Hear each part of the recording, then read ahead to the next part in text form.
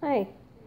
We're having, thought I'd just uh, fill you in on something we're having for lunch today here. Kind of a unique thing to do.